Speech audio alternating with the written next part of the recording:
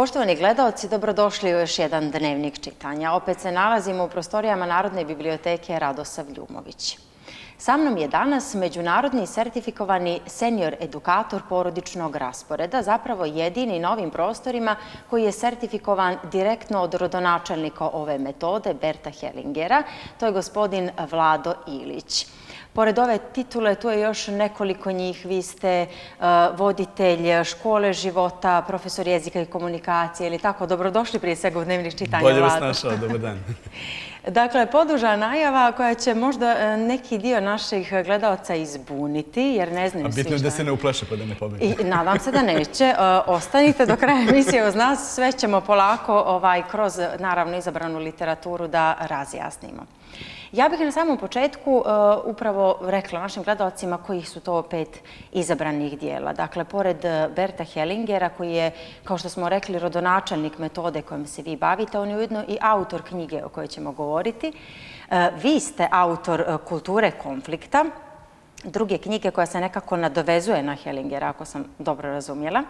I tri romana koja vi smatrate vrijednim pomena. E, Hesov Stepski Vuk, Tvrđava Meše Selimovića i Alhemičar Paolo Koelju. Tako je. E, da počnemo od Hellingera pa da polako otkrijemo našim gledalcima ko je zapravo on i šta je zapravo porodični raspored.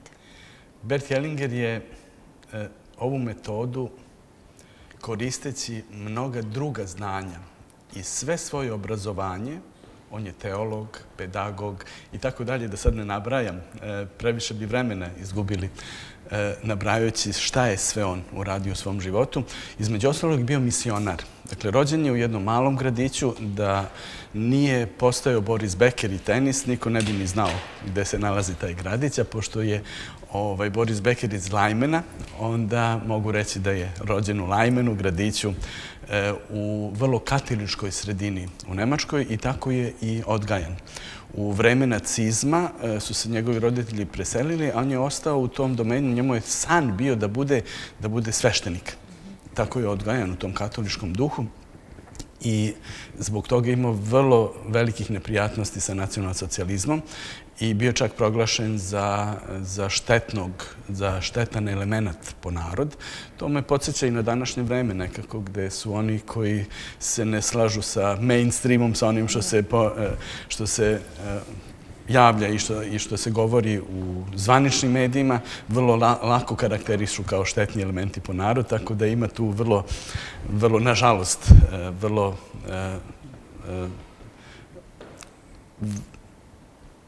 fali mi reč, e, dakle, ima, e, ima dodenih tačaka. Dakle, i sa tim vremenom i sa današnjim vremenom, ali ne bih se toliko zadržavao na to vreme.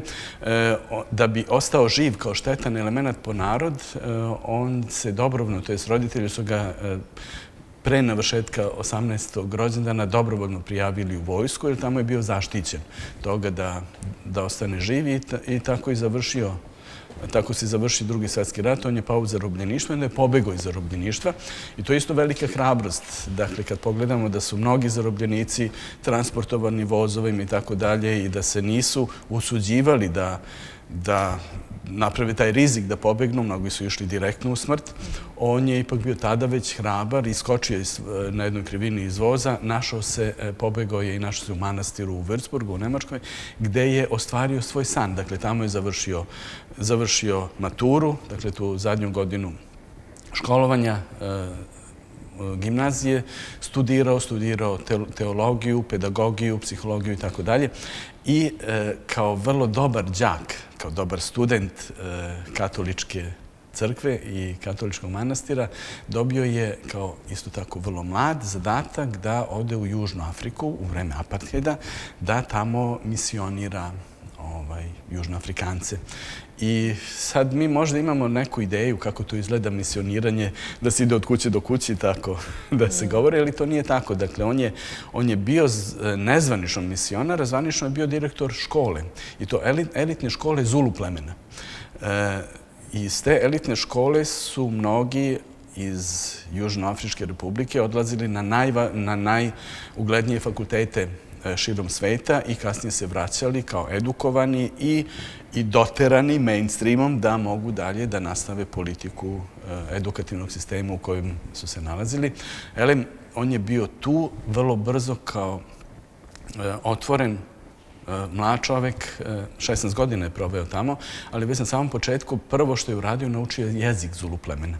I tako je e, tako je vrlo brzo i pridobio njihovo poverenje, ušao u njihove porodice, bio je oduševljen pre svega njihovom tradicijom, porodicom, i bilo mu je jako žao kao vrlo e, strogog vernika kako tako dobri ljudi mogu biti na tako lošem putu i bilo mu je vrlo bitno da ih sve dovede na pravi put, da imaju pravu veru i tako dalje. E, sve do jednog trenutka to je bio jedno, jedno, ne do tada, malo kasnije se to desilo, ali došlo je do otkrovenja. Možete zamisliti e, jednog čovjeka iz jedne e, civilizacije zapadnjačkog cveta, svejedno što je to bilo 50-ih, 60-ih godina, e, prošlog veka, doći u sredinu, ući na proslavu Zulu plemena, opet kažem, oni jesu imali svoju tradiciju, ali isto tako su bili otvoreni i zapadnjačkoj kulturi. Dakle, doživljava svoj prvi susret sa spontanim isceljenjem od strane šamana. E, I to sasvim slučajno. E, desilo se da je neki od posetioca e, dobio jaku temperaturu, e, drhtavicu, niko nije znao šta je s njim, dobio napad, nije bio totalno oslabljen, e, stavili su ga na ležaj tu e, u dnevnom boravku i E, vrlo brzo je na slavlje došao i glavni šaman sela ili gradića u kome su bili i e, odmah ih je sve malo rasterao da napravi prostor, da može čovjek da diši, svi su okupili oko bolesnika. E, uradio je svoj ritual, e, to što je uradio, pljesnuje rukama nekoliko puta i čovjek se diže bez temperature, bez ičega i nastavi da učestvuje na slavlju. Eh, Bert Hellinger je tada, još uvijek mlad, bio zapanjen šta se tu uopšte desilo, bez lekara, bez ičega, bez dodira, e, jedno spontano isceljenje. Pitao je šamana šta je uradio, kaže pa ništa, to se dešava vrlo često. E, imamo puno duhova i neki od duhova su zalutali kod njega.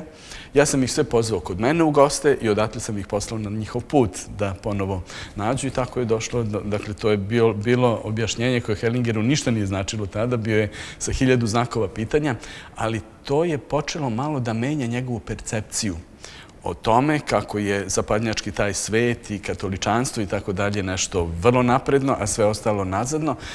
I e, do jednog trenutka kada je na jednom ekumenskom e, seminaru postavljeno pitanje šta vam je bitnije u životu, da li vam je bitniji čovek ili vam je bitna religija, to zašto ste tu. Prospavao je nekoliko noći na tim pitanjem. E, prvi put se suočio sa takvim pitanjem i ipak se odlučio da mu je bitniji čovek. Da. I to je možda ono što povezuje e, sve ove knjige o kojoj ćemo pričati danas, dakle e, čovečnost e, i ljubav. Opredelio se za čovečnost, opredelio se za ljubav, rekao je da ne može više da ostane tu. Ipak kao dobrog učenika, dobrog djaka, nakon 16 godina boravka u Južnoj Africi su mu ponudili da se edukuje, da se doedukuje u sferi pomaganja ljudima i onda je otišao za Ameriku.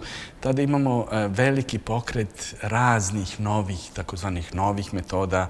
Paolo Alto, imamo Janova, Džane sa primalnim krikom, imamo početak e, skulptura, e, psihodrame, dakle sve to e, sreća njegova jer se našao u tom periodu. Tako da je mogao ići direktno kod e, rodonačelnika različitih novih metoda. Danas to više nisu nove metode, one su vrlo dobro etablirane u terapijski e, sistem većine zemalja sveta, ali on je recimo još na seanse kod kod Janova, neki ga pogrešno zovu Džanov, dakle ja, Janov, on je poreklom iz iz Mađarske, išao je dakle na primalni krik, išao je na skulpture, Virginije Satir. Upoznaje mnoge u Palo Altu, dakle u Kaliforniji, i od svega toga što je tamo naučio je, sagradio je jedan novi sistem koji se danas znači u Nemačkoj je on to nazvao familijen Aufstellung, porodični raspored i tako je kao porodični raspored i kod nas uzvaničen kao, kao metoda tradicionalne medicine i u Srbiji u Crnoj Gori. E, dakle, tradicionalna, bez obzira što je prvi put Bert Hellinger 1980. godine širo javnosti predstavio na jedno semiru šta je to zapravo čime se on bavi i kako, kako se ovaj, kako pomaže ljudima. E, I taj neki njegov vrlo neobičan put i dug na neki način u nekom trenutku se povezuje i sa vašim, pa to postaje i vaš put. E, moram da vas pitam kako je do toga došlo. Kao i sve bitne stvari u životu, e, i to se desilo sasvim slučajno. Sasvim slučajno e, i to mi je uvek bitno da kažem kada kažem da je nešto slučajno, da se podsjetimo šta to znači slučajno. Dakle, e, slučom, luča, luča mikrokozma, njegošer, tako, sa lučom osvetljavamo nešto u tami. I to je ta slučajnost koja se nama dešava. Osvetli se nešto što je bilo u tami, dolazi na svetlo znana i tako kaže, aha, dobijemo i taj efekt. Sasvim slučajno se desilo. Ili se nešto sluči, dakle, sjedini nešto što je pre toga bilo razdvojeno. Moram vam priznati da nikad nisam razmišljala o etimologiji riječi slučajno i jako mi je interesantno sad. Ovaj, e, voljela bih da nekako povežemo, nije nužno da uopšte odvojeno govorimo o knjigama, priznati ono što jeste i kultura konflikta, je li tako? E, ja sam vašu knjigu pročitala. Ono što je meni interesantno i što nisam očekivala, o njoj, u njoj ima e, dosta govora i o istoriji prostora na kome živimo, o ratovima koje su, kojima ste i vi bili svjedok. Pa e, negdje u nekom dijelu kažete da vam je porodični raspored pomogao da prebrodite duboke kratere koji su nastali u vašoj duši za vrijeme posljednjeg Jugoslovenskog rata je li tako? I da uz pomoć poredka ljubavi e, vam je postalo jasno da konflikt i rat ne nastaju negde na polju, nego kao pritajene mine borave duboko u nama, čekajući povoljan trenutak da se aktiviraju, ponekad kao nišćega, da razlozi za konflikte, bolesti ili patnju u sadašnjem životu često leže u dalekoj prošlosti. E sad je tu u jednom vrlo kratkom citatu nekoliko pitanja koja se otvaraju. E, prvo to da, da rat i konflikt nisu vani, nego su u nama. Što je vjerovatno mnogima, posebno iz naše kulture, teško da uopšte prihvate, jer mi volimo da nađemo krivca u drugom, je li tako? E, ne samo u našoj kulturi, ali možda ovde posebno. Posebno e, nije jednostavno suočavati se sa sobstvenom istinom sa tim sobstvenim bolnim mestima u našem životu. Jer kada pogledamo, e, mi nismo samonikli. Dakle, nismo tu pali sa neke strane planete odjednom i tu se nalazimo i za nas i puno njih. I to je možda trenutak da, da vam na osnovu jedne vežbe to malo, malo i vama i, i gledalcima dočaram e, šta je zapravo, o čemu se tu zapravo radi i e, šta znače ti unutarnji krateri. Dakle, ako dozvolimo sebi da, da se povežemo sa onim elementarnim, sa božanskim u sebi, onda dobijamo neke informacije i otvaraju, otvaraju nam se širom vrata za koje nismo znali da postoje. A to je ono što je vrlo bitno, pogotovo u ovom vremenu u kome živimo. I zamislite, ako bismo uzeli samo jedan mali period našeg postojanja od svega hiljadu godina, to je za kompletno naše postojanje, priznaćete, vrlo, vrlo kratak period, ali zamislite koliko je neophodno bili oče, bilo očeva i majki da postoje, da bismo mi danas postojali u ovom životu. E, 8,5 milijardi 8,5 milijardi samo direktnih očeva i majke, očeva i majki od generacije kroz generaciju da bi mi danas postojali. I kada zamislimo da je njihov život tekao onako kako mi ne možemo ni smisliti kako je tekao, da su prolazili kroz različite traume, kroz različita lepa dešavanja, sve je to utisnuto u nas kroz genetsku strukturu. Upravo je to bilo jedno od mojih sljedećih pitanja. E, evo, otvorila se knjiga na poglavlje koje se zove e, Genetika emocija. Mi kad razmišljamo o genetici, o tome šta nasleđujemo od naših predaka, obično ćemo da razmišljamo o vašim plavim očima, mojoj kovađavoj kosi, ali nećemo zalaziti u dublje u neke emocije, eventualno probleme koje mi imamo sad, koje nikada ne dovodime u vezu sa našim predsima. Međutim, e, vi smatrate da je to i tekako značajno, je li tako? E, nama je najčešće poznato i to je dobro što je tako poznato. Naravno, vidljivo e, boja očiju, dužina nosa, lepo lice ili kako god, ali istovremeno i, i neka vrlina, dakle, neko odlično svira klavir, violinu, neko ima e, različite druge sposobnosti koje je stekao, rađanjem stekao od svojih predaka, a i ne zna ništa, pa se onda otkriju, a vidi kakav je kao tetka, kao stric, kao tata, mama, deda, baba i tako dalje. Ali ono što nam je nemilo, i to se nadovezimo opet na prvo pitanje, to su konflikti. Dakle, o tome ne volimo da raspravljamo, ali zamislite šta se dešava u našem životu. Odjednom su nam prepreke na putu. Ne možemo nešto da ostvarimo. Imamo sve, a osjećamo se kao da nemamo pravo na svoj život. Kao da nismo dovoljno voljeni i tako dalje i tako dalje.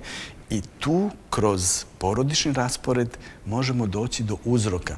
Dakle, ne simptom, kao što vrlo često rade neke tehnike, ne bih sada e, govorio o bilo kojoj drugoj tehnici kao, e, kao nešto loše ili negativno, naprotiv, e, nije ovo jedina i jedinstvena, a, ali želim da, da ukažem da simptom koji se pojavljuje kao takav je uvek naš prijatelj koliko god je loš. Pa čak i najteže bolesti poput kancera su nam prijatelji koji nam ukazuju da nešto postoji što nije rešeno i da treba to da sagledamo. To se ispoljava.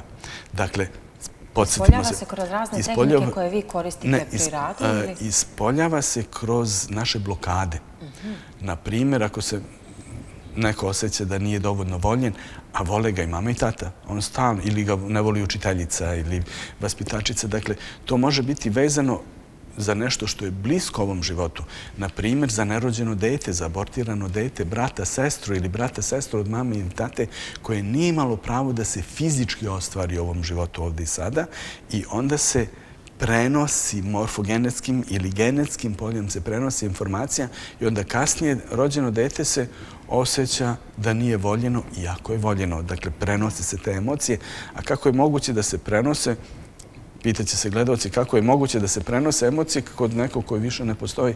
To su energetski procesi. Dakle, u fizici smo naučili, u prvim časovima fizike, energije neuništiva. Dakle, i to biće u utrobi majke je biće, je energetski naboj. Dakle, to je energija, božanska energija koja se ne može uništiti abortusom.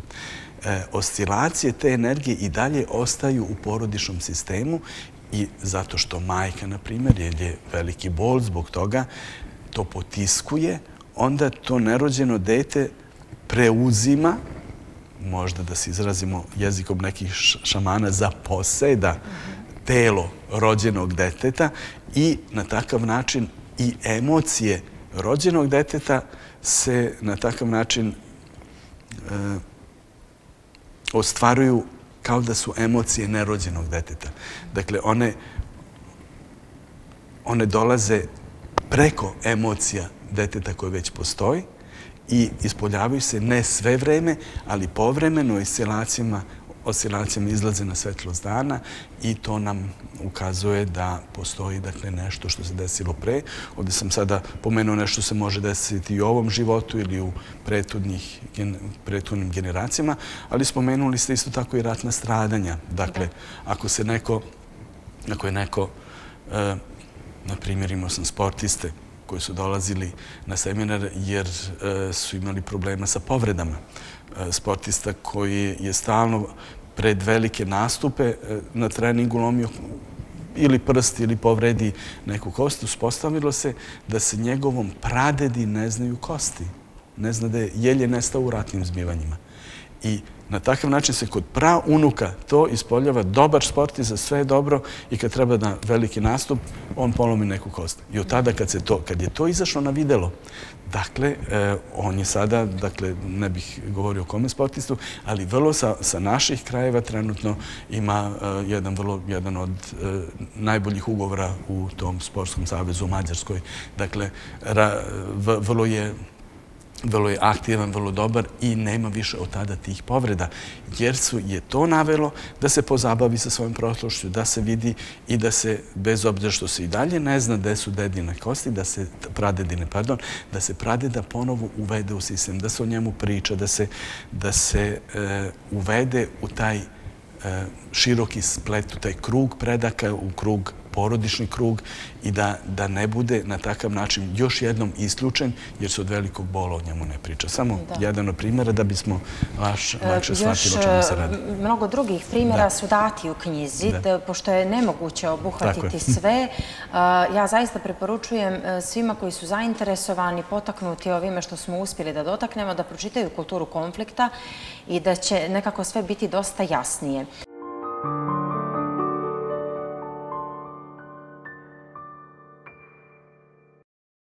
Moramo da idemo dalje jer smo nažalost vremenski ograničeni. Uh, ja sam vas čak prekinula, prekinula sam vašu priču o Hellingeru i načinu na koji ste vi došli do njega.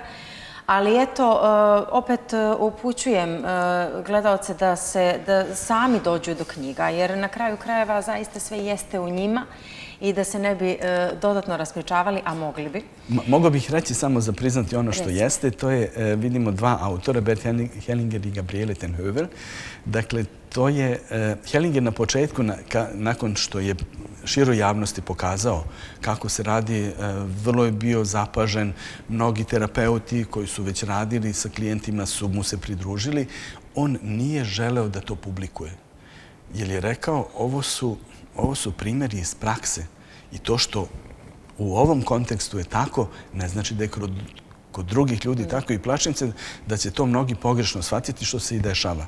Dakle, svi primjeri koji su tu, koliko god se neko pronaša u tom primjeru, uvek moramo individualno pogledati. To je fenomenologija metode. Dakle, ne možemo na osnovu i hiljade primjera, dakle imam preko 37 hiljada klijenata u svom dosadašnjem radu, ali bez obzira na to, ako sam imao hiljadu puta sličnu tematiku, uvek svaki slučaj gledam iznova. To je ono vrlo bitno što sam naučio ne samo od Berta, ali i od njega, da pogledamo fenomenologiju tog slučaja, da vidimo šta je tu, šta je tu u pozadini.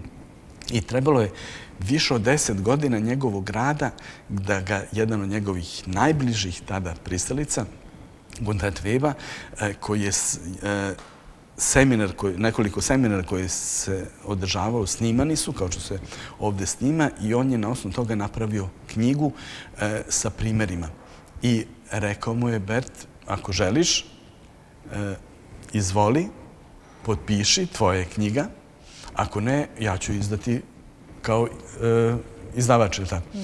I Bert je nakon jedne noći, opet ne prospava noći, ipak odlučio da da svoj potpis i da da svoj blagoslov da knjiga izađe. To je, to je e, načinilo veliki bum uopšte.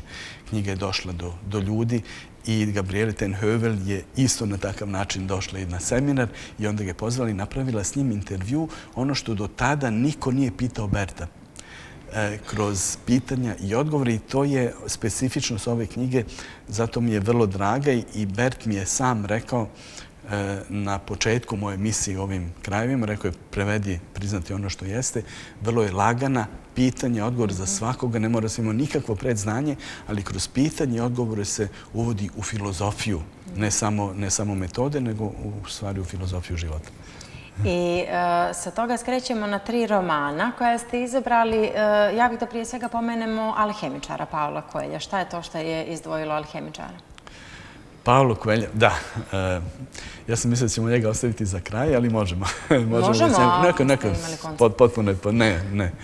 Ovaj, prepuštam se uvek, e, i to je fenomenologija, da se prepuštam vama po dogovoru. Dakle, e, ono što sva tri romana vezuje, već smo govorili, e, napomenuli čovečnost i pre svega ljubav. Ljubav u pozadima, ali Alhemičar kao takav e, je za mene jedna posebna knjiga iz više razloga, moderne. I tu moram napomenuti jednu vrlo interesantnu činjenicu kada je prvi put njegov prvi izdavač izdao Alhemičar, on je izdat samo u 900 primjeraka. I to nije baš išlo, nije bio pravi izdavač. I tek kada je napisao drugu pa treću knjigu, eh, je našao novog izdavača i tada je postao bestseller. Nije svetski bestseller knjiga koje, kada pogledamo ovaj, portugalski jezik i portugalsko govorno područje koje je prevedena sa sa portugalskog na najviše jezika od bilo koje druge knjige na portugalskom jeziku i e, izdana u najviše primjeraka kao bilo koja druga knjiga e, E, živog pisca. Uopšte, to su kurioziteti, ovaj, ne znam na koliko jezika, sad nisam se dovoljno spremio, možda vi znate bolje. Dakle, ali alhemičar kao takav nam na jedan metaforični način e, ukazuje na suštinu našeg postojanja. Koliko je bitno da slušamo naš unutarnji zov, da slušamo naše srce, da slušamo ono, uh, ono što se ne može opipati ni dohvatiti rečima kroz alhemiju. Dakle, koliko su, šta znači alhemičar, znamo, to su, oni su vekovima pokušavali da, da naprave, da naprave od, e, od olova zlato, ili tako? I e, u jednom trenutku glavni lik, ovaj, Santiago, ili tako? Santiago. Santiago, eh, Santiago dobija od alhemičara čak i recept kako da pretvori, može, može to razlog da čitaocima ovaj, probudimo, znate želju, da, da pronađu recept, recept za pretvaranja eh, olova u zlato. Dakle, eh, metaforički, ja ne bih sada išao previše u interpretaciju knjige, ali kada pogledamo tu metaforiku, šta je, šta je, šta je zapravo taj, to olovo? To su naši snovi. Snovi kada ne, ne sanjamo život, već kada počnemo da živimo naše snove, to je zlato. I to je ta, ta transformacija olova u zlato. Dakle, e, Santiago odlazi do piramida i prolazi kroz različite, različite iskušenja. Tamo u Egiptu nalazi ljubav svog života. I u trenucima svoje velike ljubavi prema njoj, on pos, po, posustaje i čak razmišlja da i ne ode na svoj cilj, da ne ode da nađe to blago, zašto je došao, je to mu se javilo u snovima. Dakle, opet snovi, opet imamo nešto e, van naše realnosti, van onoga što možemo da opipamo. I do, i do, međutim, ona, to je prava podrška, podrška partnera.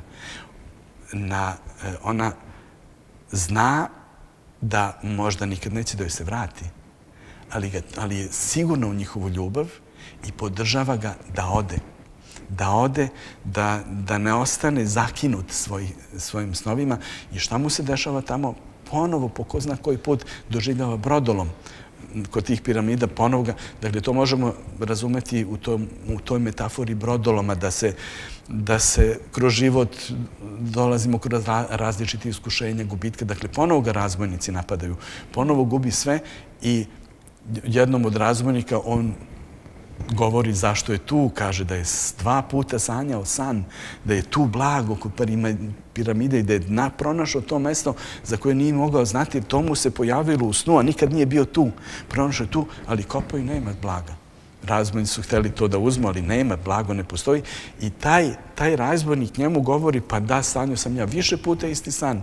Tamo opisuje mu e, crkvu gde pastir Santiago čuva svoje ovce, opisuje mu gde je on u svom snu video to i kaže razvoljima kakvi. Neću ja tamo, nisam ja lud, da idem preko pustinje za nekim snom. Da. Santiago se vraća, je li tako? Na kraju vraća se, sad ne znam da li da to otkrijem. Možda bolje da, to možda bolje ne. dakle, da li je došao do svog blaga i šta je sa njegovom ljubavlju?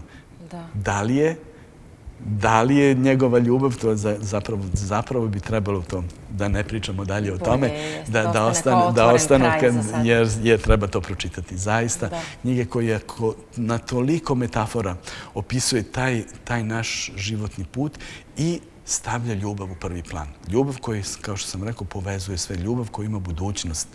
Ljubav, e, ne ona zbog koje patimo i zbog koje propademo, ne, već ljubav, prvo ta ljubav, i tu sam rekao, dakle, podrška osobe koju volimo, idi za svojim snovima. Pa, Ljubav je, i ono zašto se opredilio glavni junak tvrđave, uprko svim e, brojnim nedaćama kroz koje je prošao i to je kao što ste rekli nešto što povezuje sve knjige, e, ljubav kao izbor na kraju krajeva. Šta, šta biste izdvojili kod tvrđave? Ahmet, je tako? Ahmet Šabo, jeste. jeste. Ahmet se, se vraća iz rata. Dakle, iz rata i to ponovo imamo sadašnju situaciju. Vrlo je, dakle, e, sva tri romana su vrlo aktuelni. Ako pročitamo između redom, ako dozvolimo da, da metafore koje su tu, e, e, da rade u, u našoj duši, da, da ih naša duša prepozna. Dakle, on se vraća iz rata i ostaje sam. Svi su mu pomrli. Nema porodice više, jer su se svi razbolili. Dakle, i to je vrlo interesantno. Neko odlazi u rat, i pre bismo rekli da je on izložen opasnosti, a zapravo ga spašava njegov odlazak u rat, jer on se nije razbolio, on ostaje da živi, ali ne gubi. Ne gubi sebe, već se otvara za ljubavlju. E, sve svoje ratne strahote na takav način e, transformiše, jer veruje u ljude, veruje u ljubav, traži mostove, traži mostove kroz ta, kroz ta druženja i čovjeku kom, kome je spasao život radi za njega, ali i on ga izdaje na kraju. Zašto ga izdaje? Jer je bio otvoren. Opet imamo za naše vreme. I šta mu, on, šta mu je on rekao možda, možda a nemamo knjigu ne ovdje. Da. E, e, rekao mu u jednom trenutku, e, možeš ti ukrasti, možeš ubiti, možeš uraditi šta god hoćeš. E, to će ti oprostiti. Ali ti si rekao, ono što se niko ne usuđuje reći i to ti ne opraštaju. I to Ahmeta dovodi i to ti nikad neće oprostiti. Dakle, ta iskrenost, čovečnost koja danas, koja danas sve manje ima u svetu i, i kod nas, nažalost, na, na ovom području Balkana, dakle, Balkan. Šta je Balkan? Balkan, ako ćemo po turskom jeziku naše polostrvo, zemlja krvi i meda. I u toj suprotnosti zemlje, krvi i meda vrlo je lepo mešao. I još uvijek je tako. To su ratna izbivanja koje sam opisao u kulturi konflikta i su tako. Dakle, na zemlji, krvi i meda neophodno je da se suočimo. Dokle god zatrpavamo, dokle god e, mislimo da je neko drugi, neko treći kriv za naše konflikte, e, vrtimo se u začaranom krugu. Ali Ahmet se otvara i to je poruka. Dakle, Meša nam ne daje rešenja. On neće da nam kažu radite ovako ili onako. On nam, on nam daje prikaz, daje nam mogućnost da sami shvatimo njegove metafore i da, i da se prepoznamo u metaforama i da se poput Ahmeta, bez obzira na sve brodolame, i dalje veruje u ljubav. Veruje u čovečnosti u čoveku. Ne u vuku u čoveku, e, već u, u onom ljudskom, u, u onom najdragocenijem i opet u ljubav. Dakle, bez obzira što je musliman, on ima hrabrosti u tadašnjem, to je 18. vek, u, u Sarajevu 18. veka on ima hrabrosti da se oženi sa, sa e, hrišćankom, Tijanom, je tako?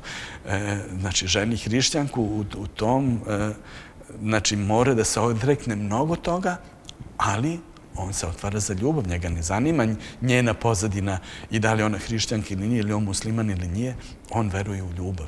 I to je ono što nam, što je vrlo bitno i preporučujem bez obrije što je, što je tvrđava ovaj, toliko stara, ali isto tako i tvrđava da se vratimo, dakle, kroz tvrđavu u gradu gde mnogi, gde se zatvaraju mnogi koji su hrabri, pa i student Ramiz, ili tako student Ramiz, i njega zatvaraju u tvrđavu jer on ne može više da podnese stegu, ne može da podnese zatvor taj u kome se nalazi čitavo društvo, u kome se nalazi današnje društvo. Dakle, imamo vrlo bitne paralele između jednog i drugog. Dakle, Ramiz ne može da podnese i što mu radi? Njega zatvaraju u tvrđavu.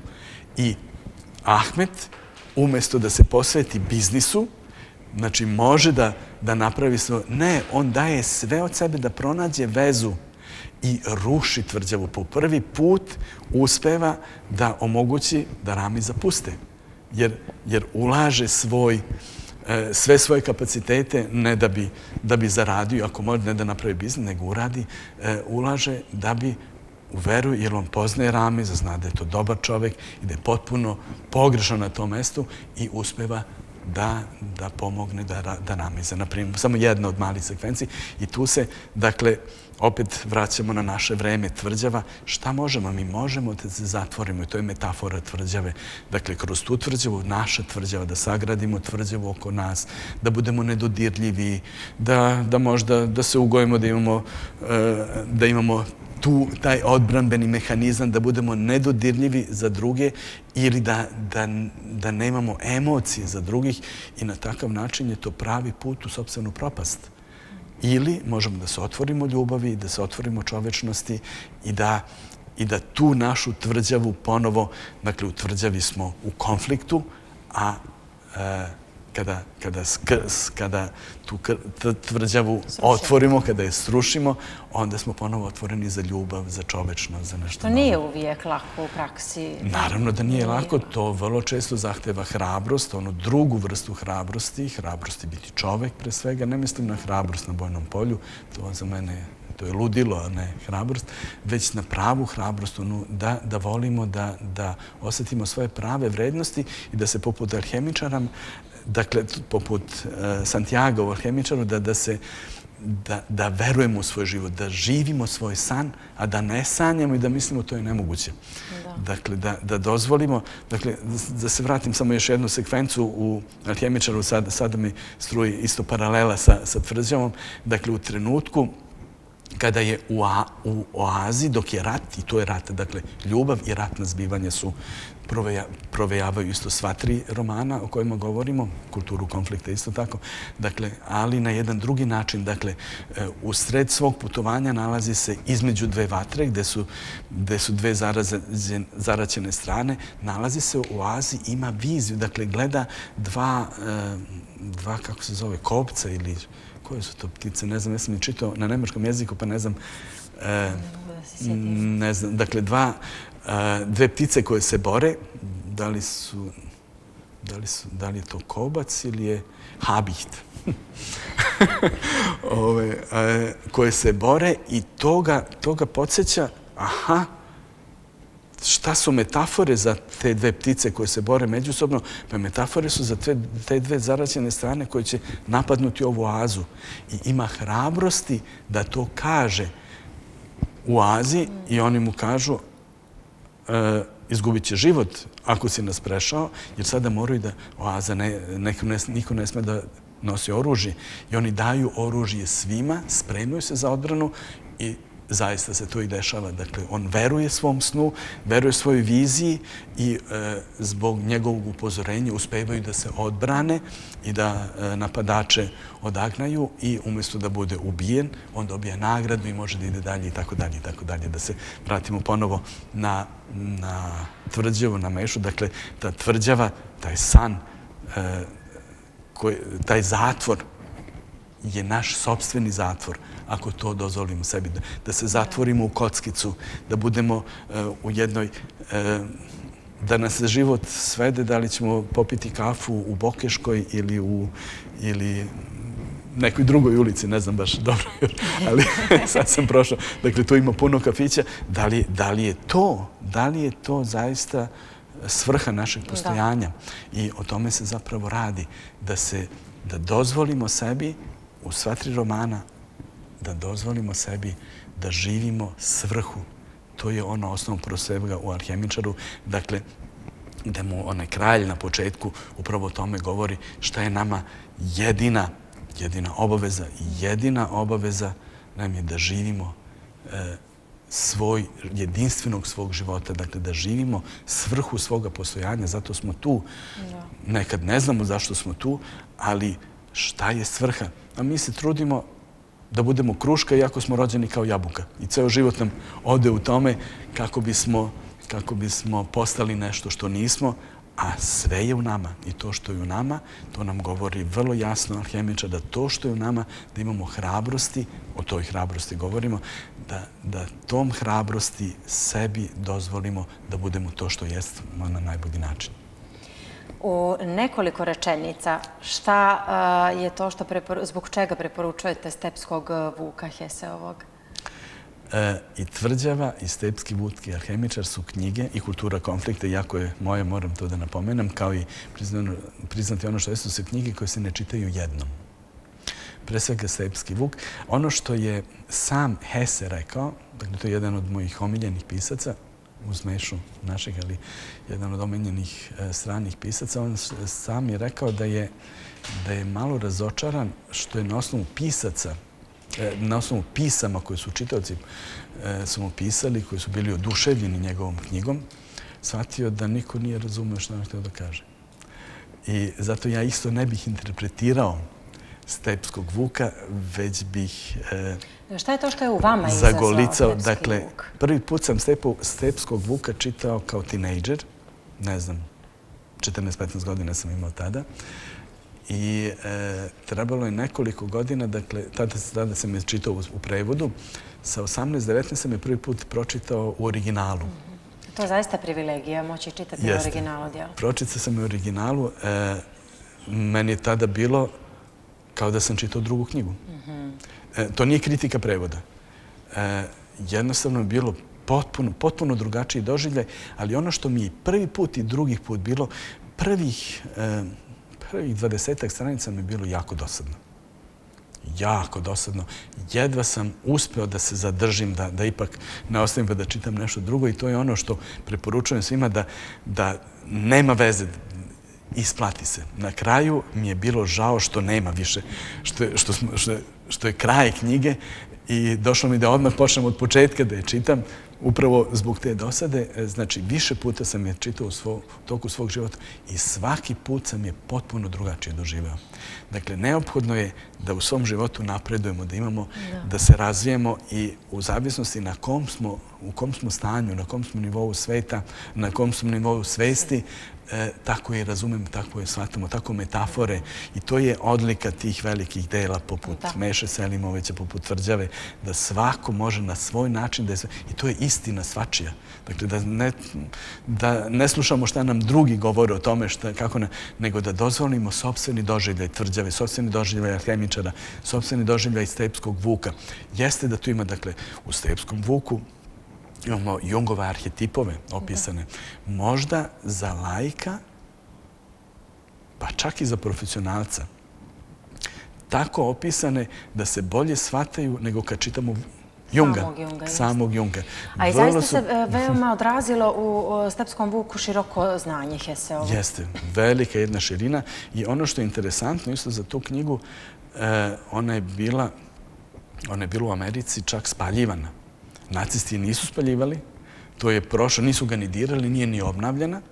Dobio je za nju 46. Nobelovu nagradu, dakle, to je, ali tek je 60. godina rehabilitovan ponovo i tada je napravio veliki bum.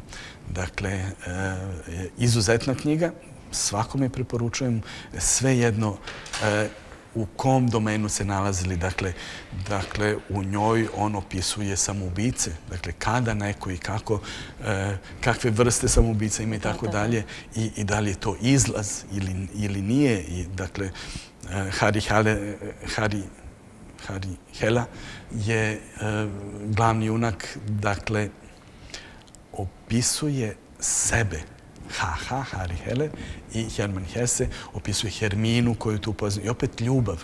Ljubav, e, dakle, opisuje sebe u stanju bezizlaza i taj bezizlaz koji ga dovodi da postaje stepski vuk, da postaje da odlazi u svoju tvrđavu. Da, da, da. Da, da, e, da, da ga toliko je razočaran u opet sa sadašnjim vremenom razočaran u građansko društvo, da ne kažem malo građansko društvo, za razočaran time šta se dešava, koliko su ljudi manipulisani, plaši se rata eh, koji predstoji u vreme još kada piše, ako 20 godina pre toga, on ga je već tada video plaši se toga i sve te strahove prevazilazi kako? Kroz ljubav.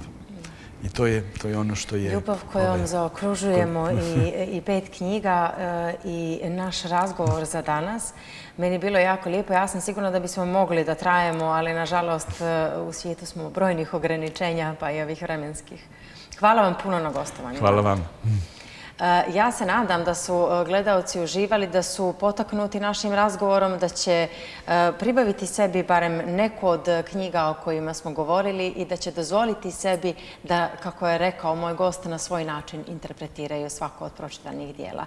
Hvala vam puno na pažnji. Sljedeće sedmice novi gost i nova literatura.